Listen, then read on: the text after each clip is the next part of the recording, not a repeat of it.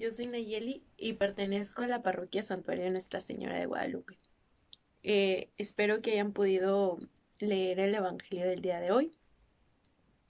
Nos habla un poquito de una parábola en el cual Jesús le da a cada uno de sus siervos ciertos talentos. A uno le da a uno le da cinco, otro le da dos y a otro uno. Y les pide que lo cuiden hasta su regreso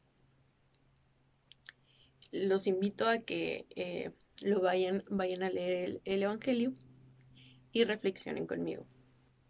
Mi reflexión es que nos invita a que, no, a que no nos conformemos con lo que nos da. Nosotros como hijos de Dios tenemos una misión y la tenemos que buscar y cosechar.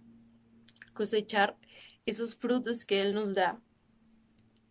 Em, como son los dones del Espíritu Santo. El trabajar cada día, cada día de nuestra relación con Dios. Trabajarlo y crecer en nuestra fe. Y no, nos, no quedarnos en el egoísmo de no crecer espiritualmente o conformarnos con lo que ya tenemos. No tenemos que aspirar a más. Entonces, eh, él lo que quiere es que nos llenemos de esa fe hacia Él y amor hacia Él. Y los invito a que aquí en los comentarios respondan a la pregunta ¿y a ti qué te dice Dios?